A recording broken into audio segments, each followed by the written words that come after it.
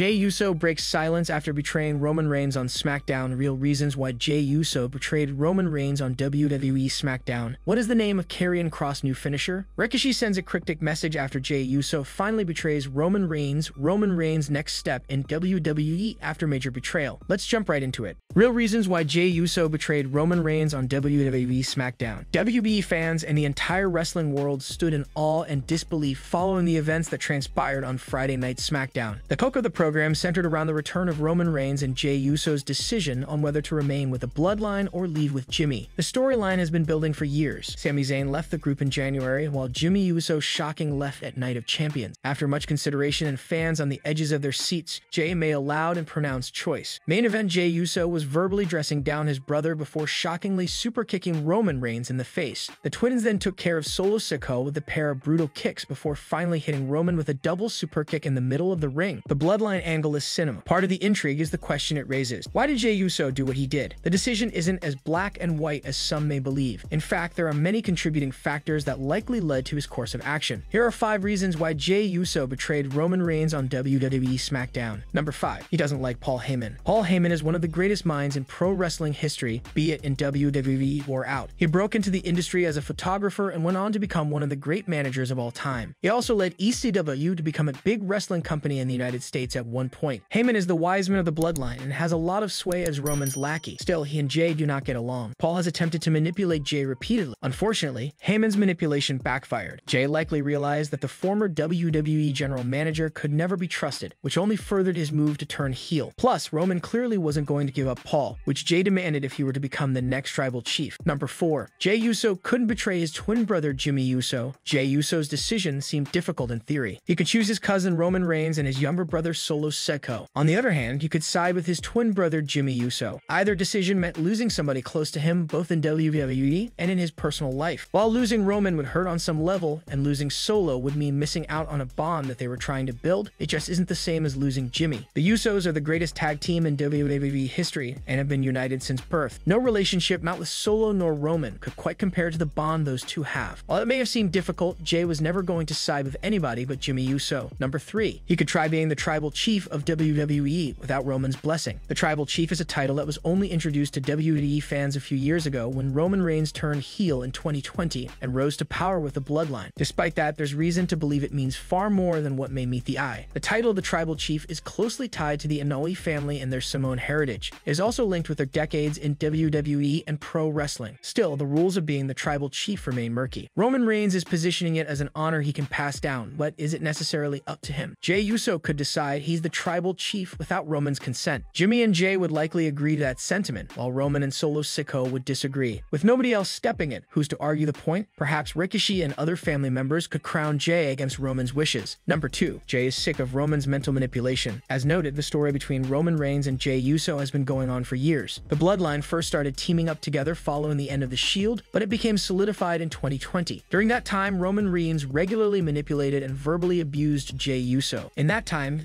WWE fans have watched the head of the table gaslight his entire family, Paul Heyman and Sami Zayn, but nobody has had it quite like Jey. Jey Uso may have finally decided that enough was enough. Jimmy told Jey that he should have super kicked Roman a long time ago. The words had an impact on main event Jey Uso. The tribal chief deserved this. It was years in the making. Number 1. Sami Zayn has been acting as the angel on Jey's shoulder. The Bloodline is one of the greatest factions in wrestling history. At the core, the group has had six members who made an impact. Roman Reigns, the Usos, Paul Heyman, Solo Sikoa, and Sami Zayn. The Canadian star left the group in January and his goal was to destroy the manipulative faction following the abuse he suffered. If Roman Reigns was the devil on Jey Uso's shoulder, Sami Zayn was the angel. The WWE Tag Team Champion did his best to guide Jey away from his abusive cousin, and his words finally worked. Jey is now free of Roman once and for all. What is the name of Karrion Kross' new finisher? On the latest episode of SmackDown, the WWE superstar Karrion Kross partook in mixed tag team action. He teamed up with his wife, Scarlett, against AJ Styles and Mia Yim. Kross debuted a new finisher towards the end of the match, which ultimately granted him the win. For those unaware, Karrion Kross' new finisher is a modified pump handle slam. The former NXT champion had previously used the devastating Saito suplex as his finishing maneuver. He also has a modified chokehold, or the Kross jacket as he likes to call it, in his arsenal. The Doomwalker put AJ Styles on notice with a sneak attack last week on the blue brand. The Phenomenal One was on commentary for Michin's Money in the Bank qualifying match against Bayley. Michin lost the match to the role model. Scarlett showed up and blinded AJ Styles by blowing dust in his eyes. Kross took advantage of the distraction to put the former WWE champion in the Kross jacket. The heel duo left the ringside to allow Michin to attend to Styles. A mixed tag team match was booked between the two teams for SmackDown this week. The Doomwalker and the seductive Siren of Sin grabbed the win after Kross took out the leader of the OC with his new finisher. As of this writing, Karrion Kross doesn't have a match advertised for the upcoming Money in the Bank Premium live event in London. The SmackDown star has feuded against the likes of Drew McIntyre and Rey Mysterio ever since he returned to WWE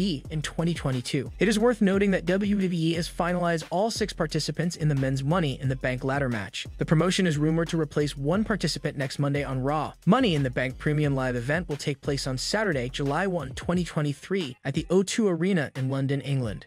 Rikishi sends a cryptic message after Jey Uso finally betrays Roman Reigns. Rikishi took to social media to send a cryptic message as Jey Uso finally made his choice and betrayed Roman Reigns on SmackDown. The closing segment of this week's SmackDown saw Jey side with his brother Jimmy. The Usos also double super kicked the Tribal Chief and the Enforcer Solo Sikoa. Taking to Twitter, Rikishi posted a gif of Vito Corleone, a fictional character from the Godfather series. The issues between Reigns and the Usos started after Jimmy and Jey dropped the tag team championships to Kevin Owens and Sami Zayn at WrestleMania 39. The tribal chief wasn't happy with the bloodline losing the tag team titles and decided to take matters into his own hands. At Night of Champions, Reigns and Sikoa challenged for the undisputed WWE tag team titles. However, they were unable to win the belts, courtesy of Jimmy Uso. Jimmy superkicked Reigns during the match, leading to Owens and Zayn retaining their titles. In the aftermath of this, Jimmy was booted out of the bloodline, courtesy of a Samoan spike. Rikishi also sent a message ahead of Roman Reigns' return to this week's episode of SmackDown. Amid the ongoing bloodline storyline, Rikishi took to Twitter and hinted that if he would appear on WWE television and involve with his family, WWE's viewership would go off the charts. He wrote, too much for TV to handle. The views would go off the charts, hashtag you already know. Reigns has been advertised for the money in the bank premium live event in London. With the Usos now officially leaving the bloodline, it's likely that the tribal chief will team up with Solo Sikoa for a match against the Usos. Would you like to see Roman Reigns and Solo Sikoa versus the Usos? Sound off in the comment section.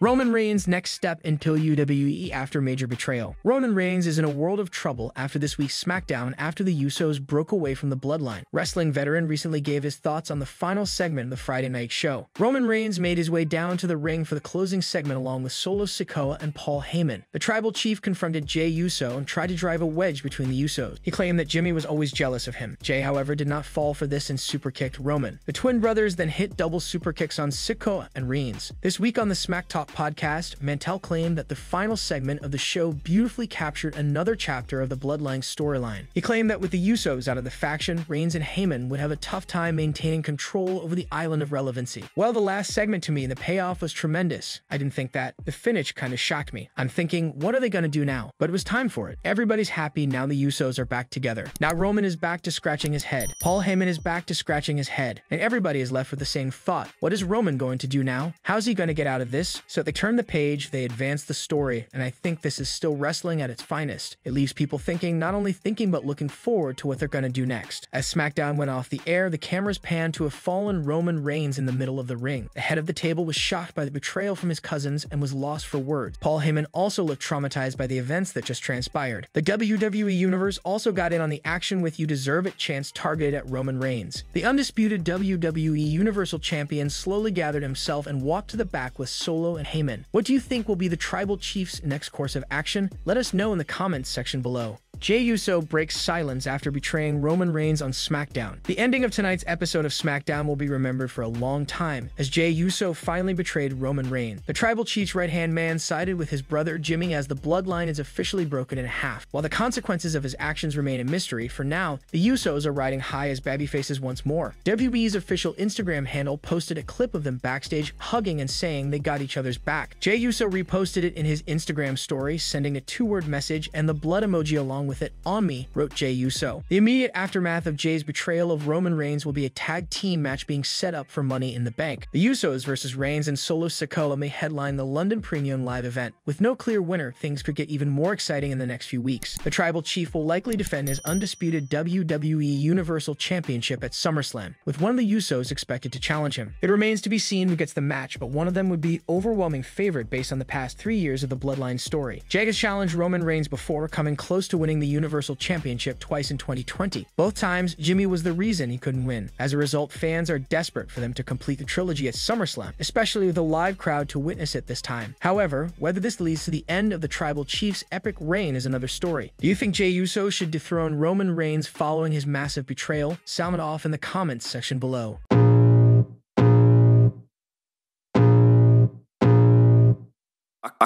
Feel the blood creeping up from the heathens. Got will, got fight, got pride, got reason. If they wanna go eat, then you know I'm gon' feed them If you're coming for me, hope you're ready for a demon. I got eyes in the back of my head, I'm seeing. Take me